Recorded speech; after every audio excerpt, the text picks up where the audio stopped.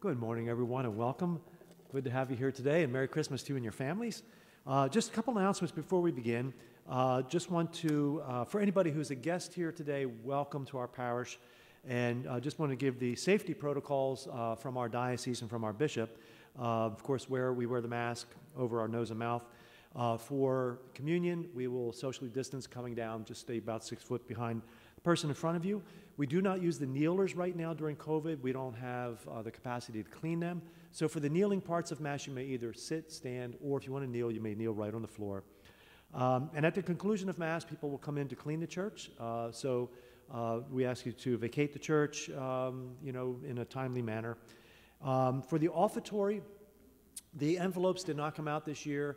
Uh, we had a problem with mailing, plus a problem with production. It, it's a long story, but anyway, we do have envelopes. Uh, Kathy and I put them together on Wednesday, I think, of this week. So if you need an envelope for your collection, uh, they are out in the atrium. You can see one of our ushers or one of our greeters, and they can be placed in the basket or dropped off at the parish anytime. If you give online, you don't have to worry about that. And the last thing is, uh, we ask you to save your music sheet, your bulletin. Uh, save that because uh, all the music uh, and refrains are, are, in here for Sunday's worship as well. So feel free to bring this back with you over the weekend. So, again, Merry Christmas, uh, and we're glad to have you here today. Thank you.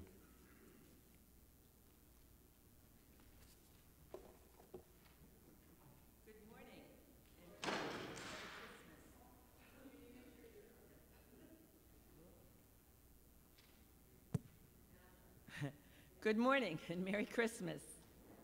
Welcome to St. John the Baptist Catholic Church. Please take a moment to silence all cell phones and other electronic devices. Today, we celebrate the Nativity of the Lord. The int intention for this Mass is for Jenny Miller, and our priest will be Father Yohe. The entrance hymn is, O Come All Ye Faithful, and can be found at number five in your worship aid.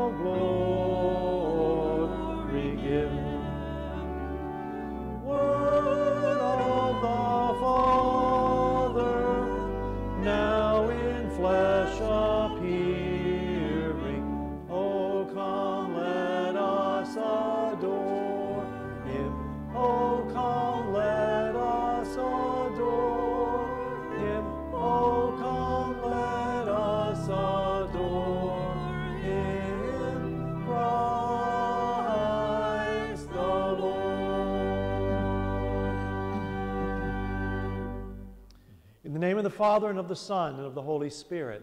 Amen. The Lord be with you. And with your spirit. My brothers and sisters, let us acknowledge our sins and so prepare ourselves to celebrate these sacred mysteries here in the birth of the Nativity of the Lord. Lord Jesus, you are mighty God and Prince of Peace. Lord, have mercy. Lord, have mercy. Lord Jesus, you are the Son of God and Son of Mary. Christ, have mercy. Christ, have mercy. Lord Jesus, you are Word made flesh and splendor of the Father. Lord, have mercy. Lord, have mercy. May Almighty God have mercy on us, forgive us our sins, and bring us to everlasting life. Amen. Glory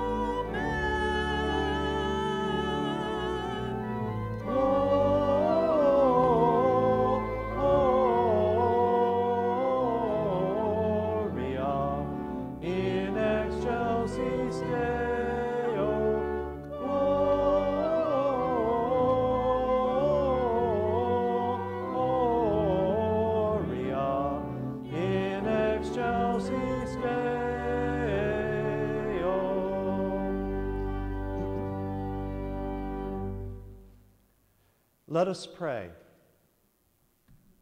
Grant, Almighty God, that as we are bathed in the new radiance of your incarnate word, the light of faith, which illumines our minds, that it may also shine through our deeds. Through our Lord Jesus Christ, your Son, who lives and reigns with you in the unity of the Holy Spirit, one God, forever and ever. Amen.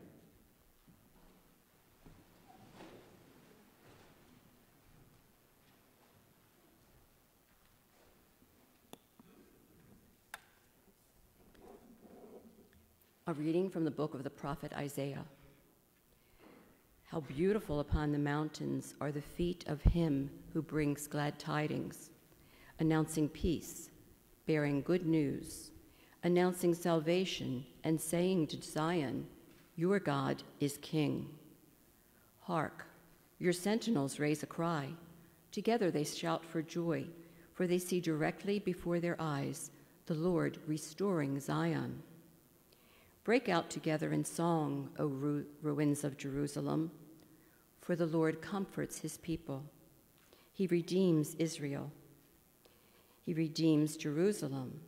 The Lord has bared his holy arm in the sight of all the nations. All the ends of the earth will behold the salvation of our God. The word of the Lord.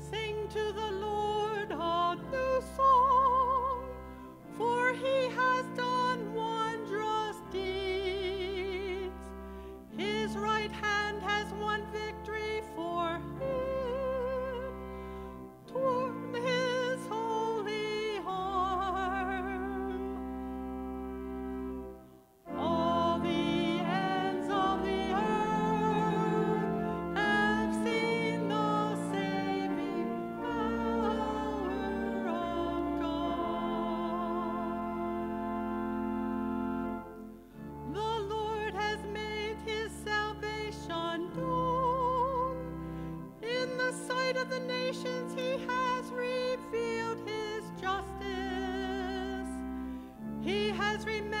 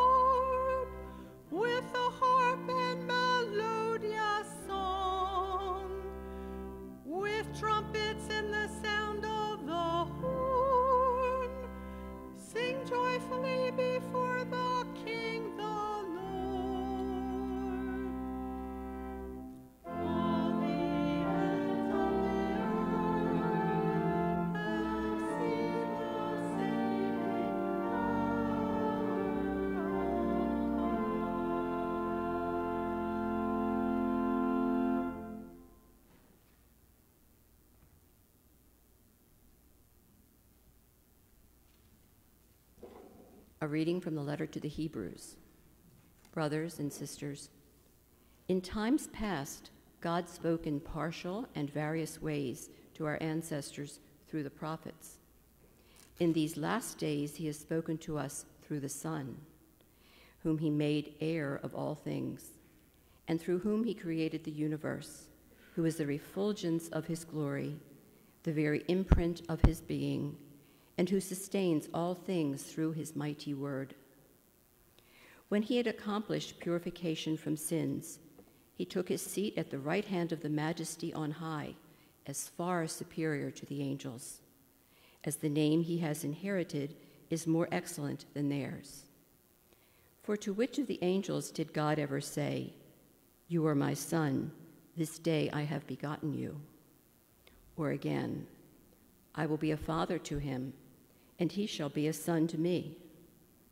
And again, when he leads the firstborn into the world, he says, Let all the angels of God worship him. The word of the Lord.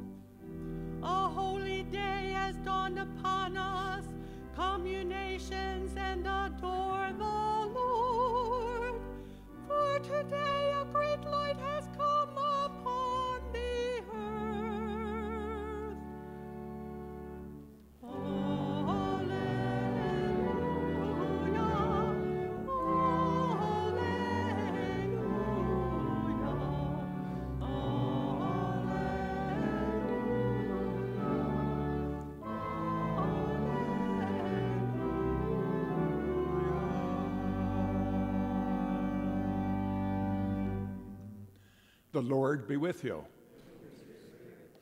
A reading from the Holy Gospel according to John. In the beginning was the Word, and the Word was with God, and the Word was God.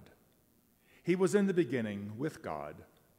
All things came to be through him, and without him nothing came to be.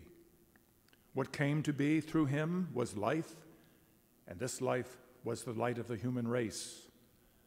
The light shines in the darkness, and the darkness has not overcome it.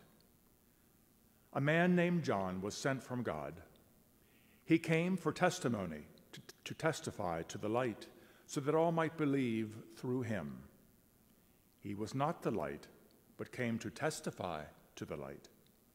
The true light, which enlightens everyone, was coming into the world.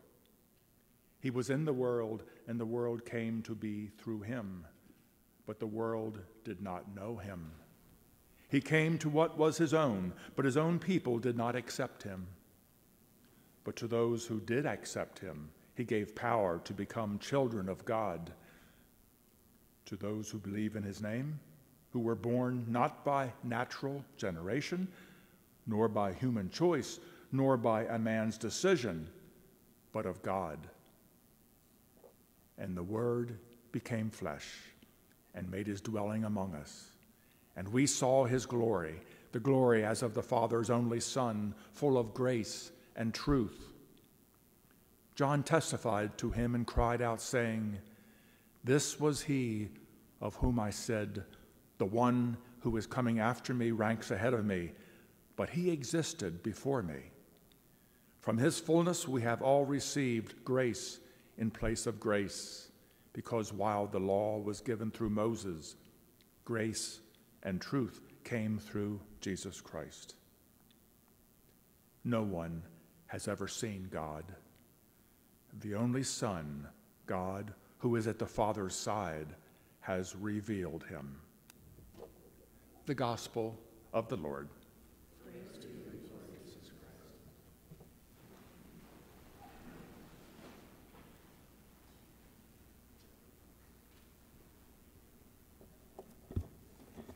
This week, as we prepared for these Christmas Masses, I was so happy and excited uh, because I kept thinking back to March and April when we were shut down.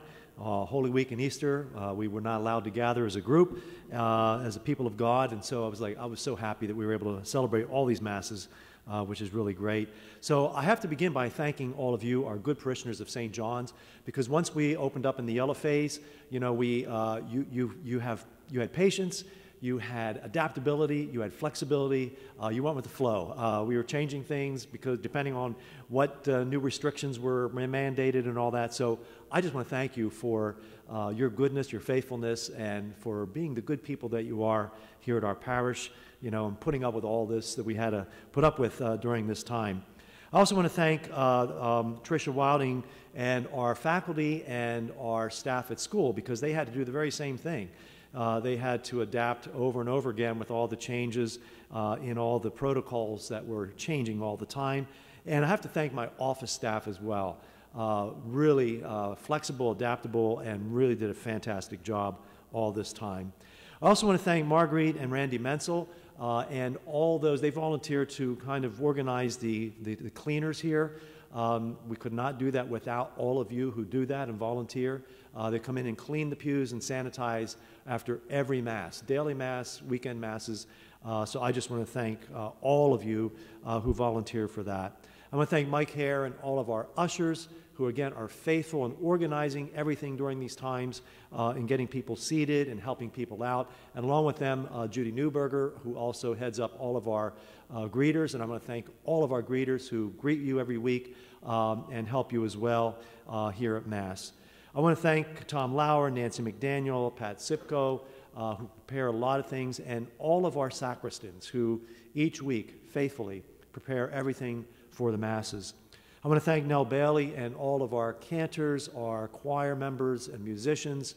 Uh, of course, we couldn't have any choirs during this time, and we still don't, uh, but they volunteered as individuals to help out uh, in singing and to bring just beautiful music.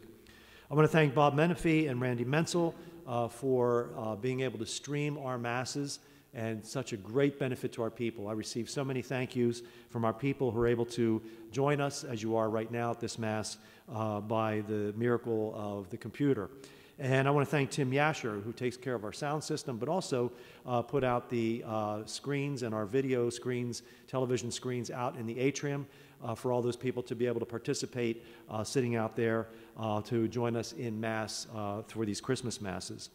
And I want to thank um, uh, Diane Skirpan, who takes care of our bulletin and our website. And again, she was so flexible and adaptable, changing things on the fly immediately as we got word to get that out to you. Um, and so I want to thank her for all that hard work and for upgrading and rebuilding our website. And then I want to thank Father Josh uh, for all his help. Uh, he filled right in for Father Ben, and I want to give Father Ben a shout out as well uh, for his help this past year with COVID. Uh, these two priests, uh, no technology. They helped me get on Zoom and do whatever I needed to do. So I just want to thank them for all their help as well. And again, concluding, just want to thank you again for your great faith and for uh, your patience and adaptability. And it's great to be with you. As I prepared for this homily, I looked at this past year and I said, you know, a great theme would be uh, light and darkness. Uh, because I think with the pandemic and everything, we've seen a lot of uh, obstacles and negative things that have happened. And so um, we have experienced really and truly uh, light and darkness in our own lives. And, you know, the Christmas story is put in the context of light and darkness. So I'd like to begin with uh, a gospel, the ending of the gospel from yesterday morning, from Christmas Eve morning, because all these readings from Christmas Eve morning through today, they're all different gospels, but they, I'm going to pull them all together here, but they all tie together with the great mystery of what we celebrate. So the ending of the gospel yesterday from the, from the uh, canticle of Zechariah uh, said this and he, this is what his words are The dawn from on high shall break upon us to shine on those who dwell in darkness and in the shadow of death. And he will guide our feet into the way of peace. That's the end of his canticle. What's this canticle about? This is when he takes his son, our patron, John the Baptizer, uh, to the temple for his circumcision on the eighth day after his birth. And at this time, his tongue is loosened. He's able to speak Uh, he comes back to faith. Remember, when he was in the temple and he was um, performing the service and the incensation, the angel came to him and said, Elizabeth's going to conceive. He didn't understand, did not believe, he was rendered mute. But now, through his time of silence, time of reflection, his joy at the birth of his son John, now, uh, once again, recovering to full faith, his tongue is loosened and he belts out this beautiful canticle. It begins by giving praise to God, God who will give us the horn of salvation. A weird phrase. The horn for the Jewish people was a, a sign of strength, a sign of power, it's a sign of God. The horn of salvation is the Savior.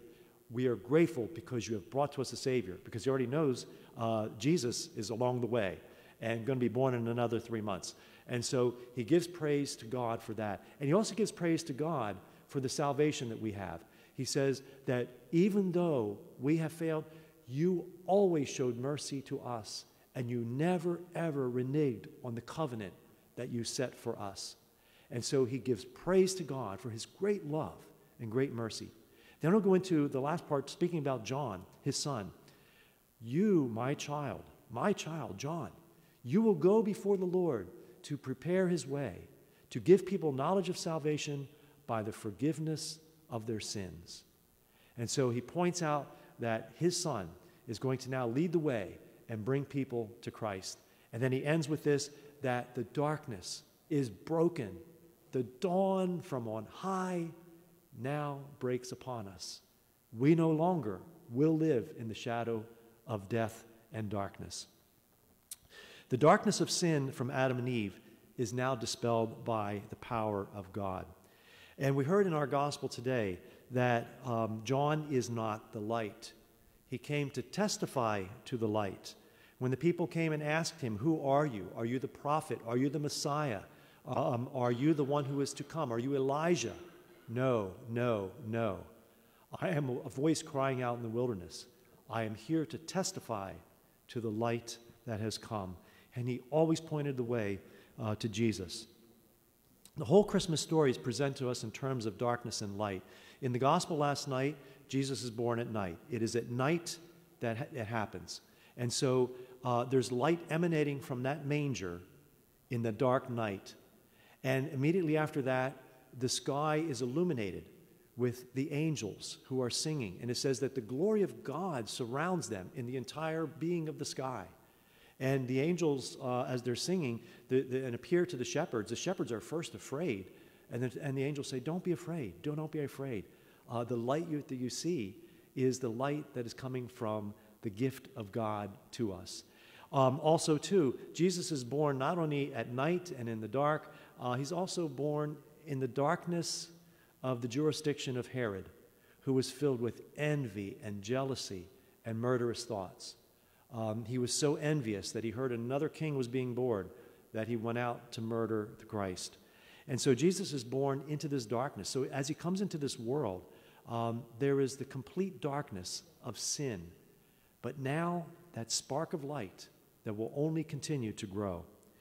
We do know that Jesus was born in the month of December. In Hebrew, it is called Chislev. It's equivalent to our December. We do not know the exact date, um, but we do know it was in December. Um, the, we heard last night that the shepherds were out at night watching uh, the flocks. We say, why would the shepherds pasture their flocks at night? Well, they're not. Um, they only could pasture them during the day. But in, in Chislev began the lambing month, which, in which the ewes would go out, they would find a secluded place, and they would give birth. And so they would keep watch all night so that coyotes and wolves and other predators would not attack their sheep. So, again, during the night, uh, as the Lamb of God is born unto us, the natural lambs are being born uh, out in the field. And also, too, at the very same time later on in Holy Week, um, as the lambs are being slaughtered in the temple precinct, at the very same time, the Lamb of God will be slaughtered on the cross. And so Jesus truly becomes our Lamb of God. We do not know the exact day of Jesus' birth. We said it on the 25th. That comes from the ancient church uh, under the old Roman calendar, because under the old Roman calendar, the, uh, the winter solstice fell on that day, December 25th. So the church chose that day Reason why? It is the longest day of darkness, and it's in order to give us hope. Uh, we just celebrated on our calendar today, the winter solstice falls on December 21st or 22nd, depending on each year. Um, and on that day, we had what, nine hours and 18 minutes of light. The rest was darkness. The church chose the 25th, the winter solstice, because as the natural world is in darkness, we, are we can relate that to the spiritual world, that in the darkest days, we can actually have hope because our light comes into the world.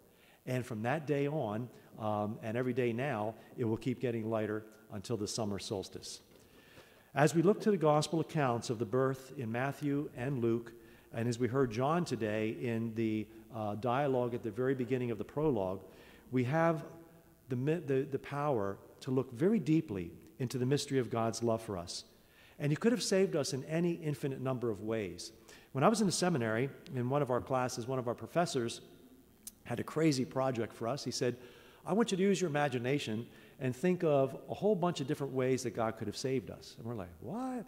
Like, he said, yeah, use your imagination. Anything. Just think of something. You know, so, okay, well, he could have just said it by his word. Yeah, that's true. Okay, well, he could have done it this way or that way or, you know. And so we, we thought of all these different crazy ways that God could have saved us.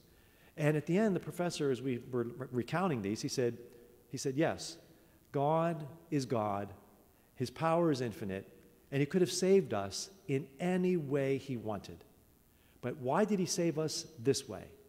And the reason why is because the way God wanted to show us in the most deep way of how that love can be conveyed is for Him to take on our human nature so that we could become brothers and sisters to Christ. And when I was a kid, uh, to think about Christ as a brother, that we're brothers and sisters to Him, that was, that was no. Jesus is God. I mean, He was divine. I mean, that's all you think about. Um, but in taking on human nature, okay, and through our baptism, we're all children of God. We're all made brothers and sisters to Christ. What a powerful image that is.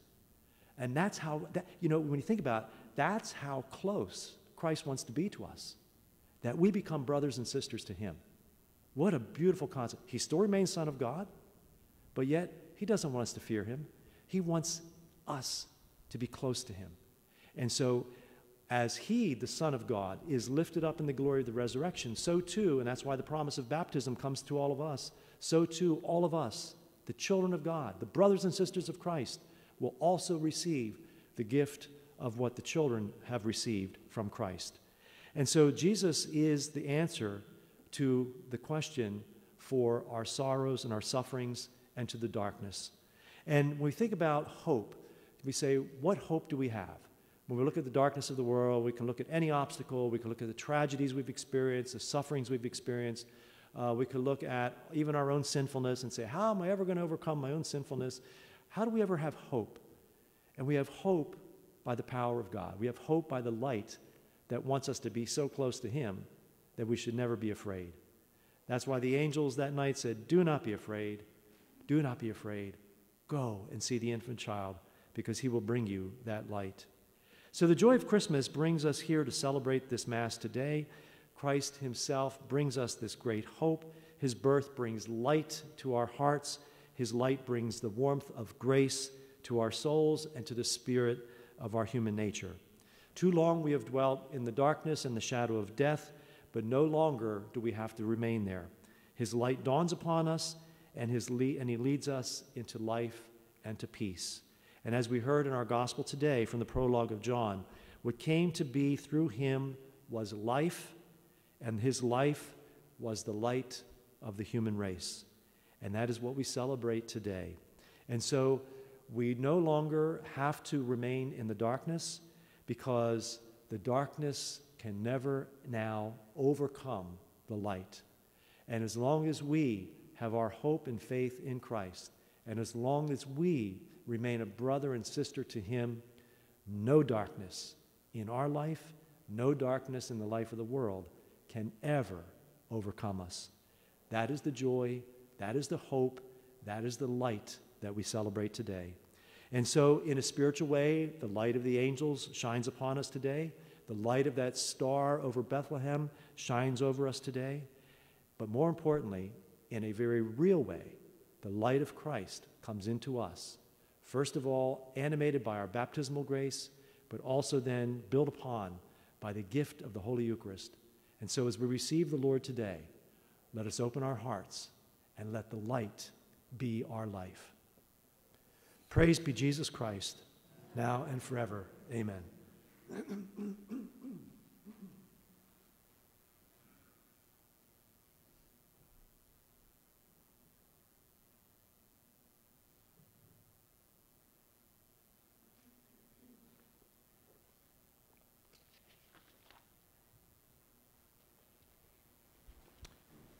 And today, as we celebrate the great gift of this incarnation, this beautiful, deep love of God for us in allowing us to become brothers and sisters to Him, when we come to the part of the incarnation, uh, we will genuflect out of respect for the Lord uh, and, and in reverence for what He has done for us. If you can't genuflect, uh, you may just bow your head. I believe in one God, the Father Almighty, maker of heaven and earth, of all things visible and invisible. I believe in one Lord, Jesus Christ the only begotten Son of God, born of the Father before all ages, God from God, light from light, true God from true God, begotten, not made, consubstantial with the Father. Through him all things were made. For us men and for our salvation, he came down from heaven, and by the Holy Spirit was incarnate of the Virgin Mary and became man. For our sake, he was crucified under Pontius Pilate.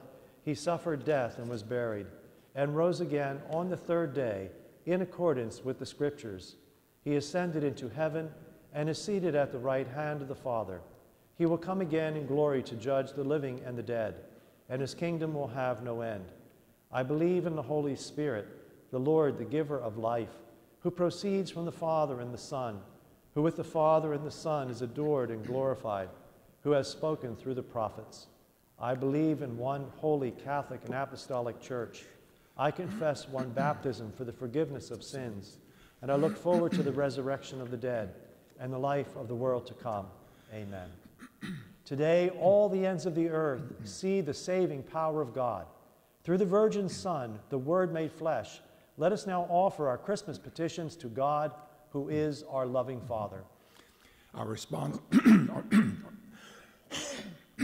our response to the petitions is, Lord, hear our prayer for the Holy Church of God, that we may joyfully proclaim God's presence among us through his incarnate Son. We pray to the Lord. Lord, hear our prayer. For the peace of all peoples, that they may know the light which darkness can never overpower, we pray to the Lord. Lord, hear our prayer. For those separated from the ones they love at this time, that the child of Bethlehem may draw them into the consoling warmth of his family feast. We pray to the Lord. Lord, hear our prayer. For the comfort of God to warm the sick, the lonely, and all who suffer, especially Phyllis Runkle, Lillian Barr, mother of Laurie Catalfo, and all those listed in the Book of the Sick. We pray to the Lord. Lord, hear our prayer. For Velma, Mike, and Cindy Walbrown, and all our beloved departed, that they may see Christ now in the fullness of the Father's glory. We pray to the Lord. Lord, hear our prayer.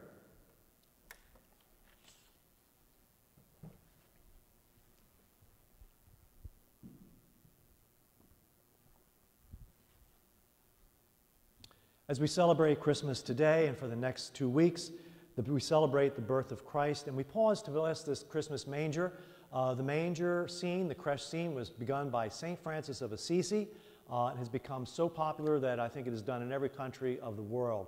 A uh, beautiful and powerful way to show us the humility of Christ and uh, how he has saved us by becoming one of us. And as you hear this blessing, you know, the, uh, even though we're going to bless the manger scene, if the, the words are actually asking God to bless us, that as we gaze upon this and realize the mystery, that God's grace will come to us. God of every nation and people, from the very beginning of creation, you have made manifest your love When our need for a Savior was great, you sent your Son to be born of the Virgin Mary. To our lives, he brings joy and peace, justice, mercy, and love. Lord, bless all of us who look upon this manger. May it remind us of the humble birth of Jesus and raise up our thoughts to him who is Emmanuel, God with us and Savior of all, and who lives and reigns forever and ever. Amen.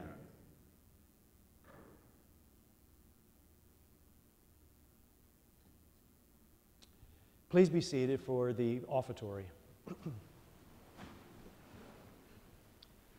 Our offertory hymn is Angels from the Realms of Glory, found at number one in your worship aid.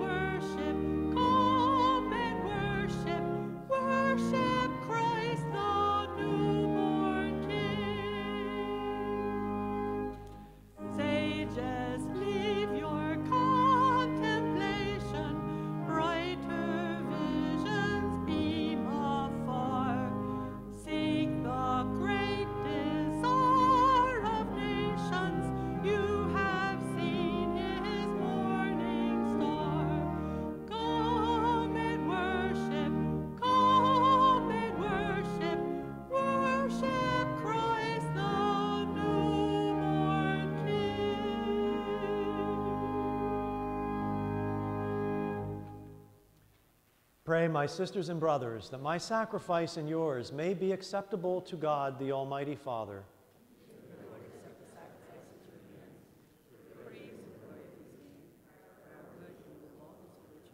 May our offerings be worthy, O Lord, of the mysteries of the Nativity of this day, that just as Christ was born a man and also shone forth as God, so these earthly gifts may confer on us what is divine. Through Christ our Lord. Amen. The Lord be with you. Lift up your hearts. Let us give thanks to the Lord our God. It is truly right and just, our duty and our salvation, always and everywhere, to give you thanks, Lord, Holy Father, Almighty and eternal God, through Christ our Lord. For through him the holy exchange that restores our life has shone forth today in splendor.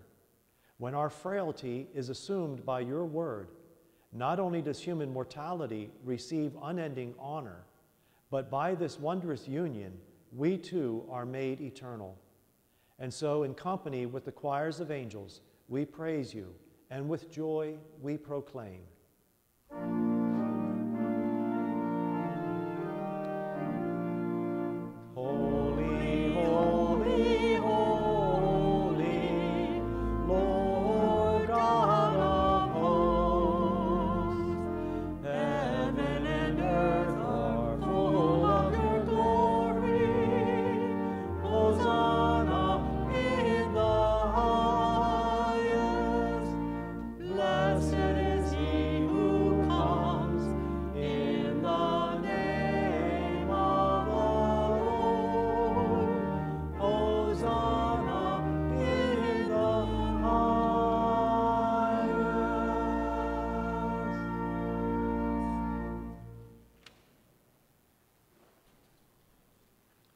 You are indeed holy, O Lord, and all you have created rightly gives you praise.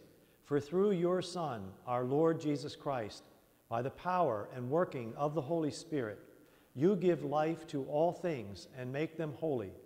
And you never cease to gather a people to yourself, so that from the rising of the sun to its setting, a pure sacrifice may be offered to your name. Therefore, O Lord, we humbly implore you, by the same Spirit, graciously make holy these gifts we have brought to you for consecration, that they may become the body and blood of your Son, our Lord Jesus Christ, at whose command we celebrate these mysteries. For on the night he was betrayed, he himself took bread, and giving you thanks, he said the blessing, broke the bread, and gave it to his disciples, saying, Take this, all of you, and eat of it, for this is my body, which will be given up for you.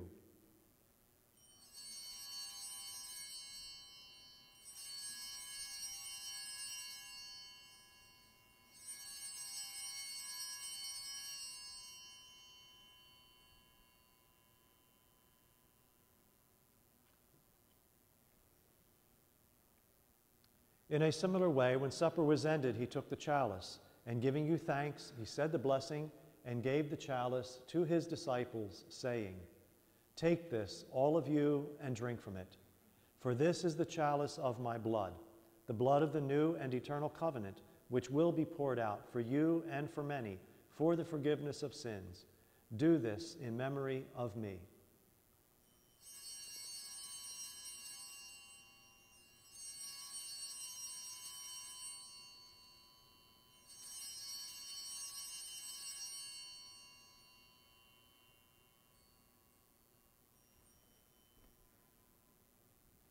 The mystery of faith. We Proclaim your death, O Lord, and profess your resurrection until you come again.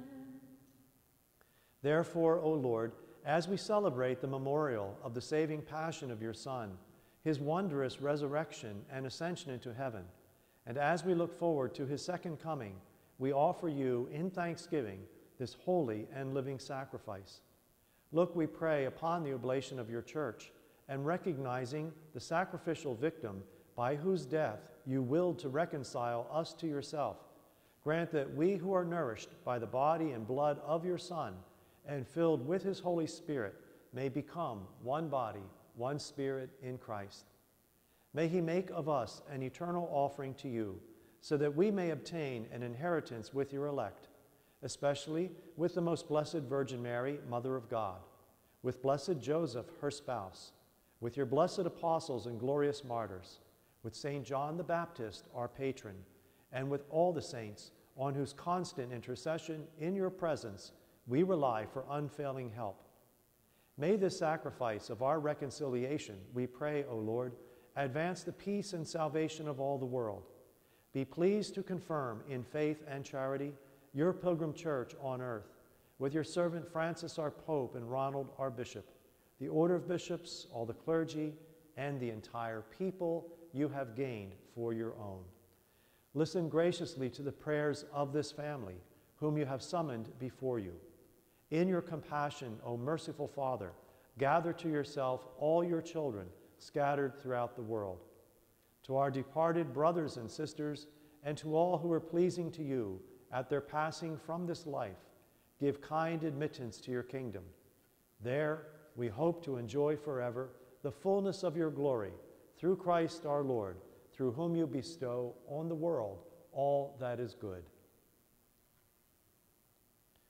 Through him and with him and in him, O God, Almighty Father, in the unity of the Holy Spirit, all glory and honor is yours forever and ever.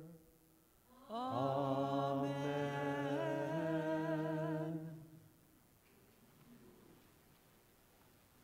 At the Savior's command and formed by divine teaching, we dare to say, Our Father, who art in heaven, hallowed be thy name. Thy kingdom come, thy will be done, on earth as it is in heaven. Give us this day our daily bread, and forgive us our trespasses, as we forgive those who trespass against us. And lead us not into temptation, but deliver us from evil. Deliver us, Lord, we pray, from every evil. Graciously grant peace in our days, that by the help of your mercy we may be always free from sin and safe from all distress, as we await the blessed hope and the coming of our Savior, Jesus Christ. Lord Jesus Christ, who said to your apostles, Peace I leave you, my peace I give you, look not on our sins, but on the faith of your church, and graciously grant her peace and unity in accordance with your will, who live and reign forever and ever. The peace of the Lord be with you always.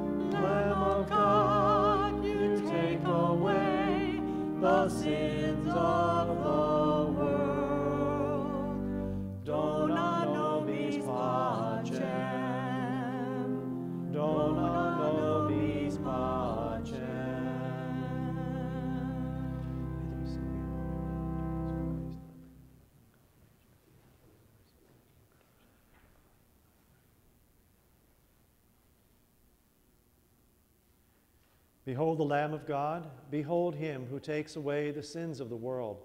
Blessed are those called to the supper of the Lamb. Lord, I am not worthy that you should enter under my roof, but only say the word, my soul shall be healed.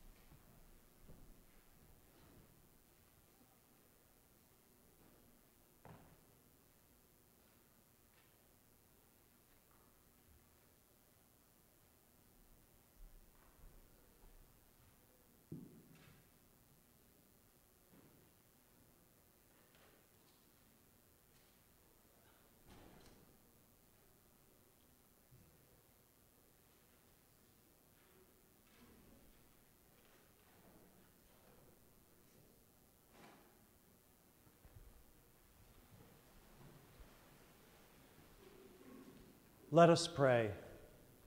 Grant us, Lord, as we honor with joyful devotion the nativity of your Son, that we may come to know with fullness of faith the hidden depths of, his, of this mystery and to love them ever more and more through Christ our Lord.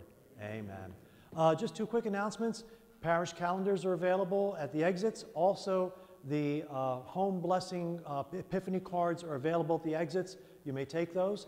And uh, your bulletins, take those home and bring those back on Sunday. You can keep those, bring those back. The music for Sunday uh, Mass is in there as well. And that includes uh, Saturday night, tomorrow night. Uh, this morning, when I get up early, I ran to the Christmas tree. I was all excited to see what I got. Maybe a new fishing rod from Santa Claus or maybe a new reel. There was nothing under the tree, nothing. And there was a note on the tree that Santa put there. Opened up, Dear Father Bob, when we were processing your order, Jingles the elf what tested positive for COVID. We had to shut down for 14 days. Better luck next year. So guess what? Next year I'm going to stick bubble gum all over that roof. So just kidding. I love Santa. He's my buddy. He was good to me.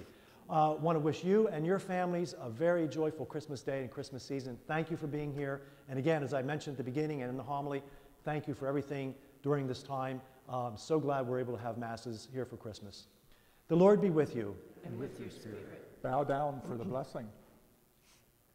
May the God of infinite goodness, who by the incarnation of his Son has driven darkness from the world, and by that glorious birth has illumined this most holy day, may he drive far from you the darkness of vice and illuminate your hearts with the light of virtue.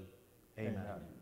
May God, who willed that with the great joy of his Son's saving birth be announced to shepherds by the angel, may he fill your minds with the gladness he gives and make you heralds of his gospel. Amen. And may God, who by the incarnation brought together the earthly and heavenly realm, fill you with the gift of his peace and favor and make you sharers with the church in heaven. Amen. And may the blessing of Almighty God, the Father and the Son and the Holy Spirit come down upon you and remain with you forever. Amen. Go in peace, glorifying the Lord by your life. Thanks be to God.